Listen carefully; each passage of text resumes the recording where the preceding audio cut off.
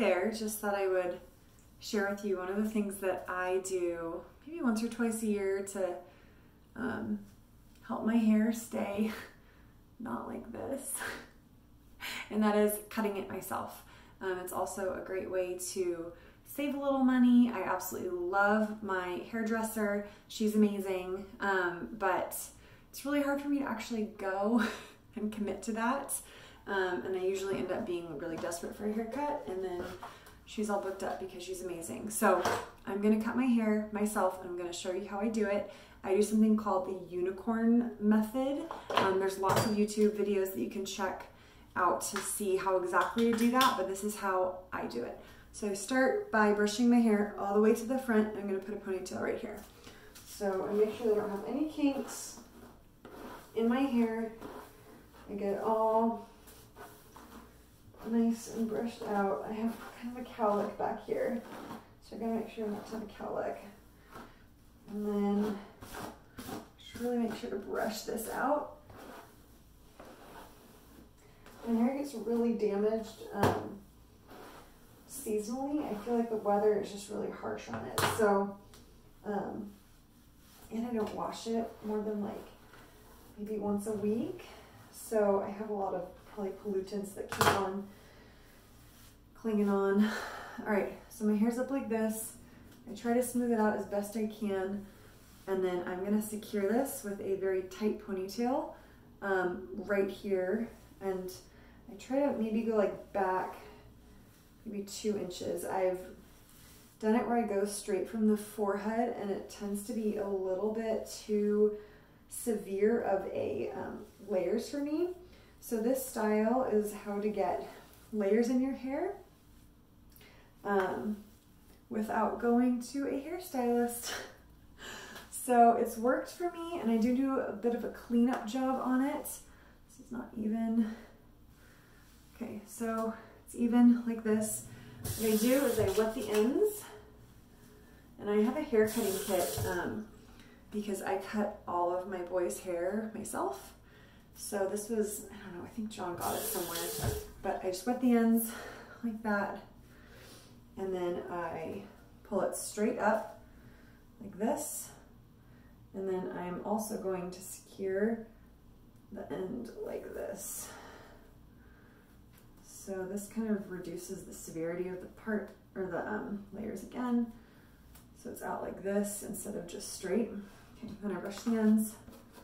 I'm gonna cut off about this much. So I take my scissors and I go like this and get it all straight. Okay, and I'm gonna do a big cut and then I'm gonna go in and piece it up a little bit. So here's a big cut right here. Get my hair. Whew. And it's to make it even. All right, so it's like this. And then I'm gonna go in and just give it a little bit, get it a little wet before I do that. Give it a little bit more texture by cutting up a little bit. And I have to spread my hair out because it does, it's a little bit thick. And this is just because I don't want it to be completely straight at the layers. Um, and then I do have, I don't even know what these are called, but they're scissors that um, kind of look like this. So I'm gonna take my hair out, show it to you, clean it up. Um, I don't know if I have a razor in this bathroom, but if I do, I will clean it up that way. So here's my hair. You can see it. Looks like this. Okay.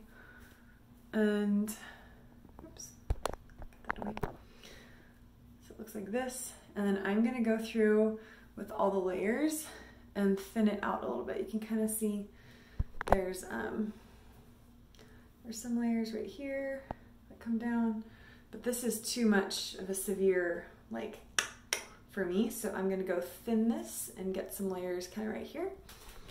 And that will help me get a little bit more like a styled look.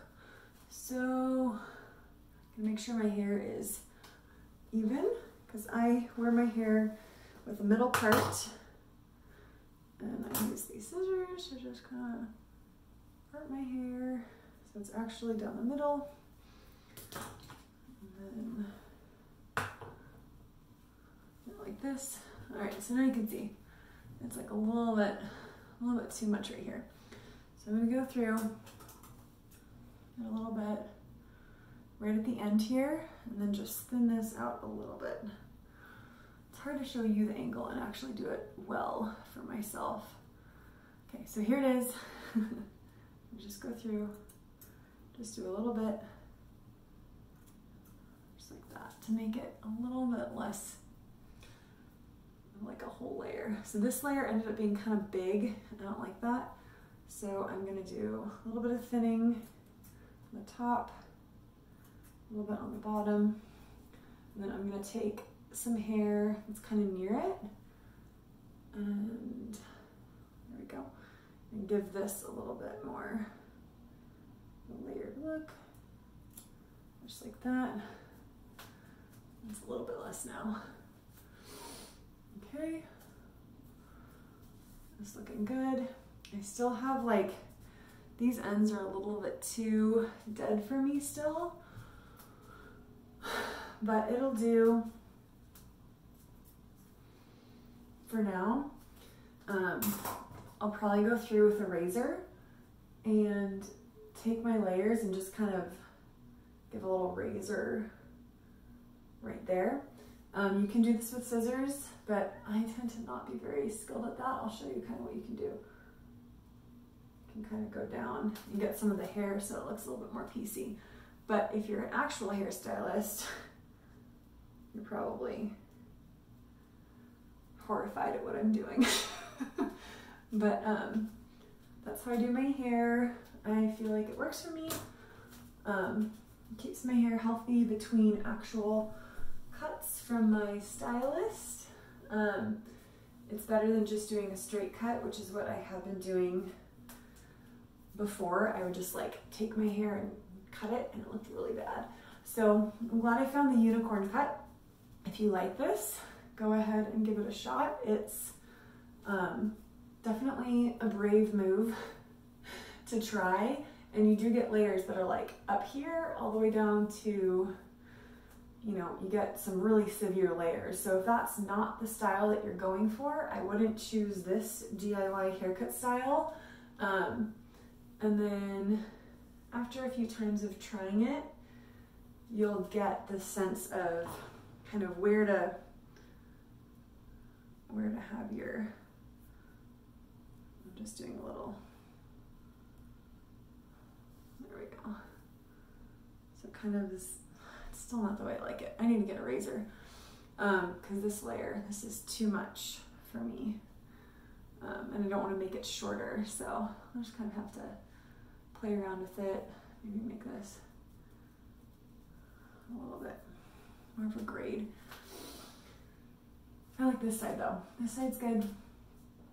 This side's more severe and I generally don't like wear my hair in a side part, but if you do, it can be like a really heavy layer on one side. So if you wear your hair in a side part, look for a different DIY style, but that's how I do my hair in between stylist bookings. So hopefully this worked for you.